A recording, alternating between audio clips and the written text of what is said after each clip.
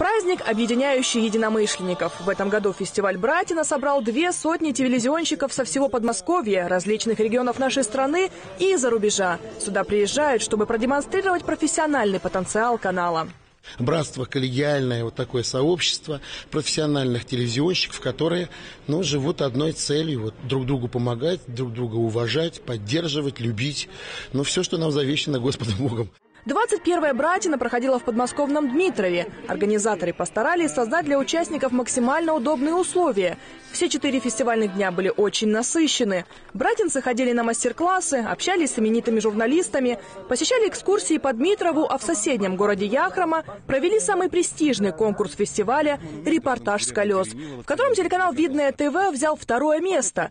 Неплохой результат, учитывая, что съемочной группе пришлось искать тему на месте и делать сюжет за ограниченное количество времени, каких-то несколько часов, чтобы покорить зрителей своим репортажем. В этом году Братина сильно помолодела. Много начинающих журналистов приняло участие в этой номинации.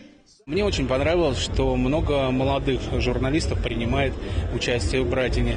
Вот. И вот этот молодежный задор меня, как корреспондента средних лет, а, во-первых, подстегивает, во-вторых, заряжает, а в-третьих, э, приятно, что спрашивают, подходят. Э, я могу подойти и спросить. Здесь братья, здесь как бы нету возрастных каких-то еще ограничений. Все братья, все сестры. Близнецы Александр и Сергей Понькины еще очень юны, но уже работают на телеканале города Королева. Один корреспондентом, другой оператором. В профессию они попали не случайно. Их мама тоже телевизионщик конечно, большой опыт э, для работы в будущем. Э, мы учимся на своих ошибках, которые мы э, значит, понимаем, учитывая другие сюжеты, предыдущие года. И с каждым годом, как нам говорят, у нас все проходит лучше и лучше.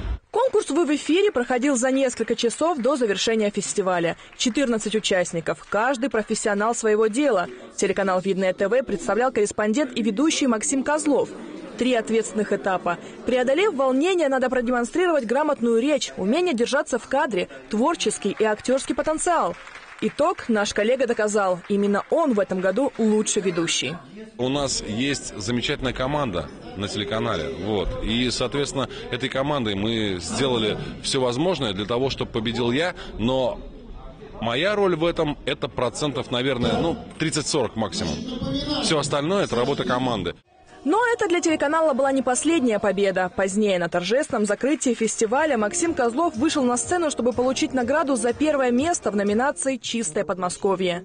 Телеканал «Видное ТВ». Не остались мы в стороне и в номинации «Рекламный ролик», получив второе место за тизер проекта «Отряд особого назначения». Эта братина для коллектива телеканала «Видное ТВ» стала урожайной. Два первых и два вторых места. Мало кому за один фестиваль удается взять сразу две чаши. Кстати, в этом году они были сделаны из бронзы. Красивые, но тяжелые, словно символизируют, как непрост труд журналистов. Но какой дивный результат получается от этой работы. Большое спасибо всему коллективу за то, что он долгие годы держит эту профессиональную планку, мастерство не падает. Я думаю, какие перспективы? Перспектив Перспектива у нас одна – работать, работать и еще раз, Юля, работать.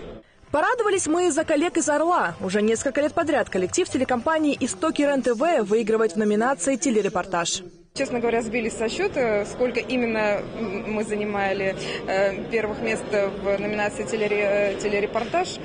А вот. И, э, естественно, для нас это э, еще один стимул, чтобы в следующем году опять тот же снаряд опал, опять попал в ту же воронку.